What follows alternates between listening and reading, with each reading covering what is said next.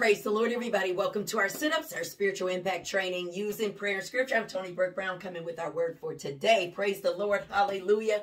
We are continuing in the book of Romans and we are finishing up chapter 15, the third section of this chapter. We have gone through Romans, um, almost completing it, but we are in chapter 15 doing the third part of three parts, right? And I just want to remind you to look below, get the information for our morning prayer. If you've not been joining us, this is spiritual impact training. This is spiritual workouts with prayer and scripture. And so you want to make sure that if you're able, that you are joining us in the mornings, Monday through Friday for our prayer. Because then you come on here, you get the word. So you got your scripture and your word, your scripture and your prayer rather. And so you are putting it together and then doing your own spiritual workout because we are on assignment. We are on a mission. We have work to do. We are standing against the wiles of the devil. We are fighting for the family. We are standing against the enemy. We are standing on the word of God. We are impacting those around us. We are turning the world upside down, but we have to have the word in us because the word is power, right? The word is alive, is quick, is powerful, is cleansing us, changing us, healing us, delivering us, and strengthening us. And so I encourage you, get your pen, get your paper, get your Bible so that we can go and we can wrap up this third part of Romans chapter 15. Okay, we left off the last time, I believe. We left off in verse 22. We did verse 22. Now we are doing the third portion of it. If you missed the other sessions, please go back and review. Go back um, and check it out and so that you can pull all of this together. But we, last uh, session, we're talking about how, uh, why Paul even wrote this letter. We know he wrote many letters or what's called epistles, but those are letters to the various churches. And this one is to the Roman church. And we know that it was a mixture of people, you know, Jews and Gentiles, rich and poor, and all different, you know, all coming together.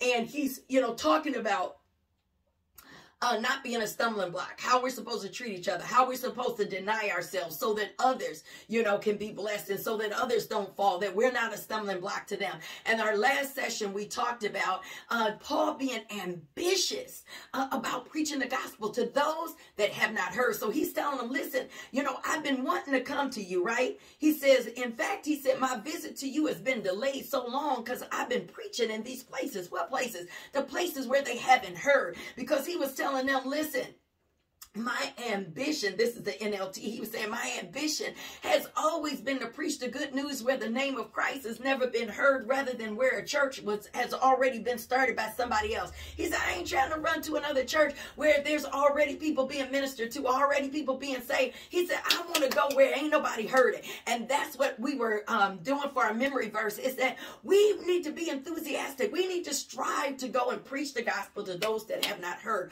those that are, are not saved, those those that are bound, whether it's local, whether it's overseas, whether it's down the street, wherever it is. We may not be able to travel like Paul did, right? But we are able to go to the unsaved. That's what we've been called for. That's what we've been chosen for. That's what we've been anointed for. And so we are going to verse 23. And again, don't forget that there's an e-booklet available if you need some inspiration, some guidance, some scriptures for your uh, spiritual regimen to help you get on task so that you're doing your spiritual workouts. That link is underneath this YouTube video as well. And so we are going right in right now. I, I am going to open us up in prayer and we'll begin in verse 23 of Romans 15. Father, in the name of Jesus, once again, we honor you and we bless your holy name, God. We thank you for your word. We thank you for your Holy Spirit, who is our teacher. We thank you for ministering to us individually and collectively, feeding us that we will be full and an overflow, that you are giving us living water, Lord God. Father, that we are going and we are boiling over, Lord God. Everywhere we go, we can't contain it, that we're sharing the gospel, the good news, the truth, the word of God. Father, that men, women, and children will want to know what must they do to be saved. Help us, God, that we are turning the world up upside down. That we are making an impact and bringing glory to your name. We yield ourselves to you now. Have your way. In Jesus' name, amen. Amen. Praise the Lord. So we are beginning in verse 23. And he is continuing because we were talking about why he wrote this letter and he's telling them, right? And now he's saying in verse 23, but now I have finished my work. Oh, wait a minute. That's the NLT. I better read it first in the King James. Hold on a second. Hold on. You know, I like to break it down. So sometimes I go to the Amplified, sometimes the NLT after I read the King James. Or, you know, I want to make sure with all our getting, you get understanding, right? That's what the word says. So verse 23 in the King James. But now having no more place in these parts, and having a great desire these many years to come unto you, Whensoever I take my journey unto Spain, I will come to you. For I trust to see you in my journey and to be brought on my way thitherward by you. If first I be somewhat filled with your company. But now I go unto Jerusalem to minister unto the saints. For it hath pleased them of Macedonia and Achaia, Achaia to make a certain contribution for the poor saints which are at Jerusalem. And it pleased them verily, and their debtors they are. For if the Gentiles have been made partakers of their spiritual things, their duty is also to minister unto them in carnal things. Now, let me break this down because it's saying, he's saying, now that I finished my work in these regions, right? And after all these long years of waiting, I'm eager to visit you. Because remember the last session, he was saying, I've been wanting to come to you. He said, but I've been delayed because I'm taking the gospel to places they ain't never heard it.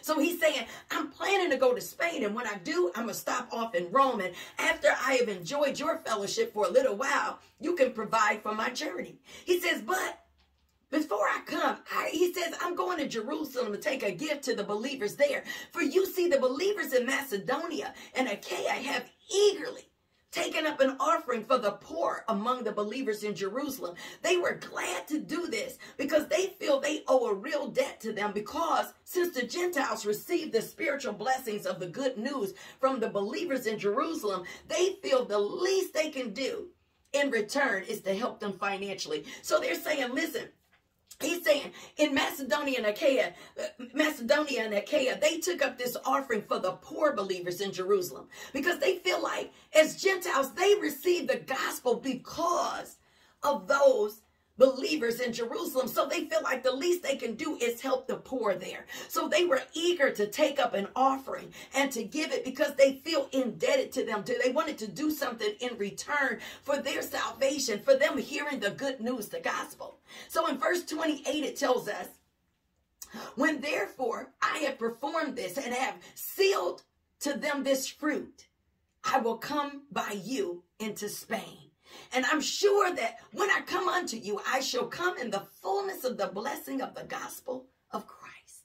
Now I beseech you, brethren, for the Lord Jesus Christ's sake, and for the love of the God of the Spirit, that you strive together with me in your prayers to God for me, that I may be delivered from them that do not believe in Judea, and that my service which I have for Jerusalem may be accepted of the saints that I may come unto you with joy by the will of God, and may be with you, be refreshed, and, and may with you be refreshed. Now the God of peace be with you all. Amen. Now I want to look at this in the Amplified, beginning in verse 28. And this is what the Amplified says. And we're just breaking this down, fine tuning it. That's what the Amplified does it. Add some extra words in there because it's breaking down the words for us. So it makes it plain. He's saying in verse 28, as soon as I've delivered this money and completed this good deed of theirs, I'll come to you on my way to Spain. So he's saying, after I take this money to Jerusalem, to the poorer saints, those that are in need from the people of Macedonia and Achaia, he's saying, after I've done this good deed of theirs, after I've completed it, he says, I'm going to come to you on my way to Spain. And I'm sure that when I come, Christ will richly bless us together. We're going to be refreshed together when I get there. He says, Dear brothers and sisters, I urge you in the name of our Lord Jesus Christ to join in my struggle by praying to God for me. Now, this is something we need to be doing for one another. Now, he was going about as a missionary. He was going and starting churches and preaching to those that are unsaved, those that had never heard the gospel. He was going forth doing the work uh, that he was given and anointed to do by the Spirit of God. But he's asking for prayer. We have to pray for one another's strength. We have to pray for one another's favor as we're preaching the gospel, ministering to the lost. The prayer is key because he's saying, Join in the struggle with me by praying to God for me. This is a battle. Remember, we're in spiritual warfare. We have to pray, praise, and preach. And so we have to stand in the gap one for another.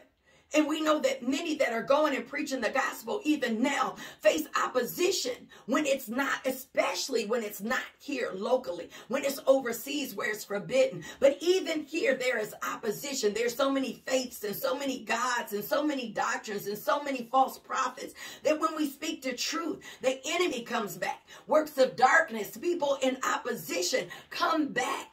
And so we have to be able to stand against the wiles of the devil and stand on the truth. And we need to pray one for another that we don't get weary in well doing. And so it says, do this because of your love for me given to you by the Holy Spirit. He's saying you have the Spirit of God in you. And because you do, you ought to love me and pray for me. And he's saying in verse 31 in the Amplified, pray that I will be rescued from those in Judea who refuse to obey God. Now remember, there are those that we may minister to and preach to that may not receive. They may be in opposition to. Remember how Paul himself, when he was Saul, persecuted the church. He was coming and imprisoning them and binding them up and, you know, and, and looking for them. He was dragging them out of their houses. So now he faces the same type of persecution because he's been beaten, he's been stoned, he's been in prison. And so he's saying, pray that I'll be rescued from those in Judea who refuse to obey God. That's how we have to pray for one another. We have to pray for missionaries, evangelists, those that are going about and preaching the gospel and ministering to the lost. And we too should be doing that. And he says, pray also that the believers there will be willing to accept the donation I'm take I'm taking to Jerusalem. Then by the will of God, I'll be able to come to you with a joyful heart and we will be an encouragement to each other. This is how we're supposed to encourage one another. Do what it is God told you to do the way he told you to do it. Pray for our brothers and sisters that are doing what God has called and purposed them to do. Paul was called to go and preach this gospel to those that hadn't heard, to go to places where it hasn't been spoken, hasn't been preached. But he needs people to pray for him, to strengthen him, to give him favor, to protect him. And we too have to do that for one another. But what has God called you to do? Where is he sending you to preach the gospel, to minister? And so then he's saying, then we can come together and we can be an encouragement to one another as we're doing what God has called us to do. We are able to come together as a body. We are able to come together as believers and encourage one another, edify one another, lift up one another because we're on assignment. And so that was the NLT, those last couple of verses that I read. But he's saying, I urge you by the Lord Jesus Christ and by the love of the Spirit to join together with me in prayers to God on my behalf and pray that I'll be rescued from the unbelievers in Judea and that my service to Jerusalem will be accepted to the saints, Jewish believers there, so that by God's will I can come to you with joy and find rest in your company. And so we come together to edify, to encourage one another. But we have to not forget the work. See, oftentimes now the church is coming together and having that good time and encouraging each other and resting each other and having the programs and events and getting excited about church but not doing the work. We have to go do the work and then we can come together and in refreshing encourage one another so we can continue on the journey and continue on the call and continue in the work. But we come together to get equipped to do the work of the ministry. Paul was like, I haven't been there before I was delayed because I was on assignment. I was preaching to those that had not heard. And now I'm over here getting ready to complete this assignment. And when I complete this assignment, while I'm going to do it, you pray for me that I'm able to do it, that I'm rescued from those that don't believe, that I can complete the assignment that I'm going on. Then I'm going to come and see you. Then we can have a time of refreshing. Then we can encourage one another. And that's what we do. Do what God called you to do. It's not just about going to church. It's about us doing what God called us to do. Then we can come together. Then we can be edified. Then we can be lifted up. In fact, look with me real quickly in Ephesians chapter 4. Ephesians chapter 4. And I want you just to write down these verses of scripture so you can go back and look at them because in Ephesians chapter 4, when it's talking about one Lord, one faith, one baptism, one God, one Father of all, who is above all, through all, and in all. That's verses four, uh, 5 and 6. But then we go down, right, to verse 11. Ephesians 4, beginning in verse 11. It says, And he gave some apostles and some prophets and some evangelists, some pastors and teachers. For what? Verse 12 says, For the perfecting of the saints, for the work of the ministry, for the edifying of the body of Christ, till we all come in the unity of faith and of the knowledge of the Son of God unto a perfect man, unto the measure of the stature of the fullness of Christ, that we henceforth be no more children, tossed to and fro, carried about with every wind of doctrine by the sleight of men and cunning craftiness, whereby they lie in wait to deceive, but speaking the truth in love, may grow up unto him in all things, which is the head, even Christ, from whom the whole body fit joined together and compacted by that which every joint supplies, according to the effectual working in the measure of every part, maketh increase of the body unto the edifying of itself in love. Listen, that's a long sentence, but I got to break it down for you in the NLT. I've got to go to the NLT because I want you to see this because church is not well, we have made it in many cases a place of, you know, just coming together, having a good time and yelling and shouting and, you know, and, and, and just coming together in fellowship. It is good. But what are we really coming for? Let's look at this in Ephesians chapter 4. And I just want to look at the New Living Translation real quick before we sign off today because I want you to get this. I want you to know what it's all about because people say, well, we got to go to church. I can't wait to get back to church. And we, run, you know, blah, blah, blah, blah. But what are we going for? What is the purpose? Paul was taking care of his ministry work. Then he said we can come together and encourage one another. But this is what it is telling us in the um in the NLT is saying in verse 11. Now, these are the gifts Christ gave to the church the apostles, the prophets, the evangelists, the pastors, and teachers. Their responsibility, their responsibility is to equip God's people to do his work and build up the church, the body of Christ. This will continue until we all come to such unity in our faith and knowledge of God's Son that we will be mature in the Lord, measuring up to the full and complete standard of Christ. Then we will no longer be immature like children. We won't be tossed and blown about by every wind of new teaching. We will not be influenced when people try to trick us with lies so clever they sound like the truth. Instead, we will speak the truth in love, growing in every way more and more like Christ, who's the head of his body, the church. He makes the whole body fit together perfectly as each part does its own special work. It helps the other parts grow so that the whole body is healthy and growing and full of love. So the purpose of going to church is not for the programs and the events. It's not just to have a good time and fellowship because we want to just be encouraged and I want a blessing today and all of these other things that people are going for, trying to gain money and position and title and things and material things that perish. But the but the gifts that Christ has given to the church is so that they, the, the responsibility, excuse me, the responsibility is to equip the people of God to do the work to build up the church, the body of Christ, so we come together in unity, so that we are a body that is working together, each one doing his own special work, each person operating in their gift, each person walking in boldness, walking in truth, knowing the word of God. So we're rooted and we're grounded and we are one and we are whole and we are together and no more mature. We're not like children. We're not like babies. We're not tossed about when new teachings come about. We're not influenced when people are prophesying to us, saying things that sound good, but there's no scripture to back it up. But we are walking in truth, grounded in firm foundation in the word of God and in our faith. And so, it is all about us growing together. That is what it's all about. Teaching sound doctrine, the truth, the word of God. Stop being moved by fancy words